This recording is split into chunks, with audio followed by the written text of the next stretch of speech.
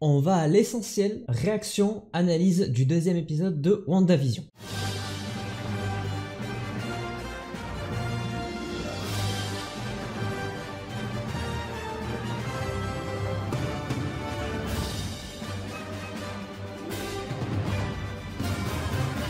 Je tourne évidemment à la suite du visionnage du premier épisode, donc je ne sais pas à quel moment va sortir cette vidéo, mais il faut que je m'organise. Enfin bref, regardons ce deuxième épisode. De ce que j'ai vu, il y a un précédemment à chaque début d'épisode, ce qui fait qu'on n'est pas perdu par rapport au dernier épisode qui est sorti euh, la semaine dernière. On s'était arrêté là, ouais. Ah, ça fait toujours plaisir ça. On kiffe. Ah, c'est toujours noir et blanc. No! Sans déconner, lui il a peur. Oh mec, t'as une pierre d'infinité sur la tronche, arrête. Ça c'est drôle. Très mal, Alpha Vision. Oh, c'est trop stylé. Chapeau. Oh non, c'est trop bien. C'est beaucoup trop bien fait. Oh, j'adore. La musique est trop stylée aussi. Hein. C'est tellement spécial. Franchement, bravo Marvel. Oula. Oh Oh oh oh oh oh, très intéressant. Very interesting. Ah ouais, le sword, le sword. Très intriguant. To give yourselves a big hand. oh non, c'est con. I too have some top secret gossip to share. Oula, j'ai peur.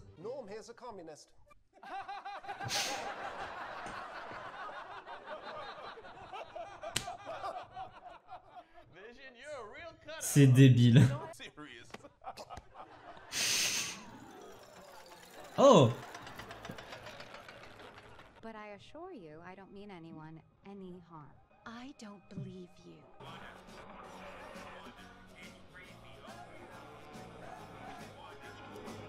Who is that? C'est le sword.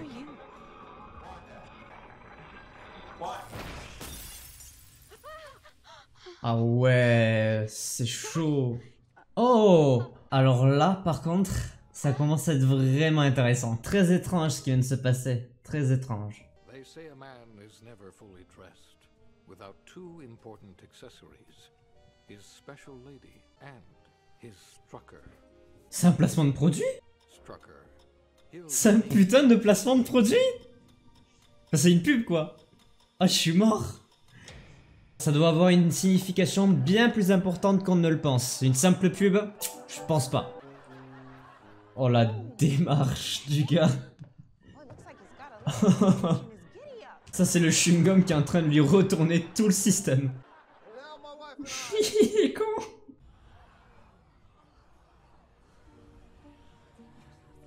Bah c'est vrai qu'il vole en soi donc... euh, il est insolent. Il est drogué. Oh non. Ouh ça fait flipper Ça fait flipper! Le beignet d'éclusaire, what the fuck Il est vraiment bourré. Discrétion sur 10. Ah, elles sont réputées pour ça, Marvel. hein. Elles sont très drôles tout le temps.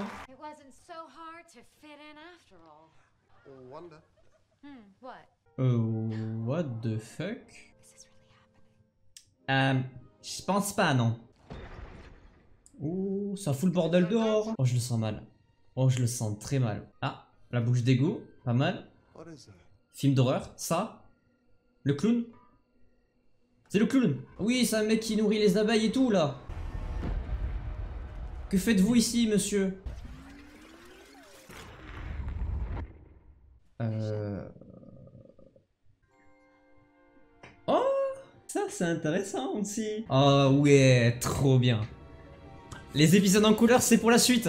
Du coup, ça change d'époque et tout. C'est trop stylé. Franchement, c'est trop stylé. Est-ce que l'écran passe en grand ou pas? Ah non, ok. Bon, il reste l'écran petit. Qui vous fait ça? Trop bien.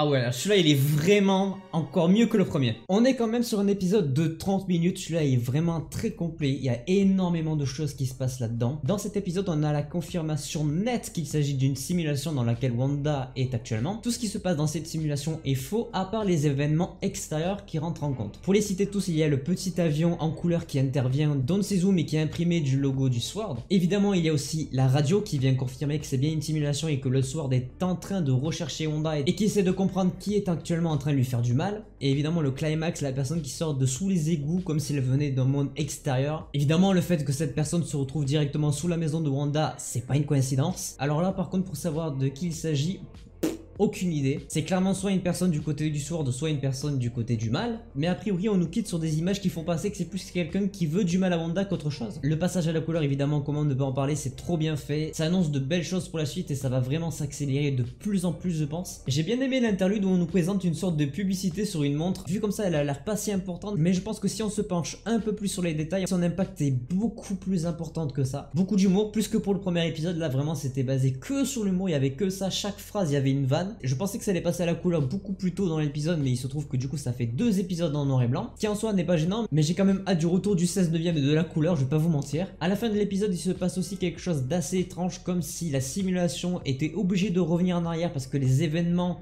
dégénérer un peu trop. Le Sword n'avait peut-être pas prévu que quelqu'un intervienne directement dans le monde en sortant d'une plaque d'égout et est obligé de redémarrer la simulation pour qu'il y ait une fin différente. Et ça pousse à la théorie, ça pousse à l'analyse. Il va falloir regarder chaque épisode bien minutieusement, ça c'est une certitude. On a quand même des débuts de réponses et de théories qui peuvent tenir la route. La plus probable serait que le Sword est clairement en train de rechercher Wanda, qui ne lui veulent donc pas de mal. Et de l'autre côté, il y a la simulation dirigée par je ne sais qui, qui est littéralement en train de contrôler tout l'esprit de Wanda, toutes ses actions, tous ses actes. Un des gros points forts de cette épisode, je pense qu'on peut dire que c'est les tours de magie qui est clairement une sorte de simulation dans la simulation, une mise en abîme de la simulation en fait. Quand les spectateurs réagissent bizarrement aux tours de magie de vision, ils ont exactement la même réaction que nous quand on regarde la série, qu'on essaie de comprendre ce qui se passe. J'ai trouvé la mise en abîme vraiment très intéressante, très bien faite. Moi c'est le genre de truc qui me captive du début à la fin de l'épisode. Beaucoup d'humour, beaucoup de détails, beaucoup de questions, beaucoup de théories, peu d'action. Ça fait très bizarre de ne pas avoir d'action dans un film Marvel ou dans une série du coup. Mais le fait qu'il n'y ait pas d'action sur cette situation en noir et blanc, je trouve pas ça vraiment gênant je trouve que ça rajoute du charme aux personnages que sont Wanda et Vision. Au-delà d'être une Avengers, Wanda ça reste une humaine à la base. Elle a pas forcément choisi d'être une mutante destinée à être une super héroïne. C'est intéressant de revenir et d'approfondir le côté humain de Wanda, c'est ce que j'ai beaucoup aimé dans cet épisode. La musicalité et l'ambiance sonore au top du top, y a rien à dire. Épisode 3 très attendu parce que je pense qu'il va se passer énormément de choses. Là on passe au format 16 neuvième en couleur, croyez-moi ça va commencer à envoyer du pâté. Et du coup en théorie sur ces deux premiers épisodes on était sur les années 50 et le passage à la couleur fait qu'on va se retrouver je dans les années 60-70. Voilà, on en a fini pour cet épisode 2 de WandaVision. J'espère que cette vidéo vous aura plu. N'hésitez pas à laisser un petit pouce bleu, à vous abonner, à laisser un commentaire. Moi, je vous dis à la prochaine pour une prochaine vidéo. Portez-vous bien, c'était votre Captain.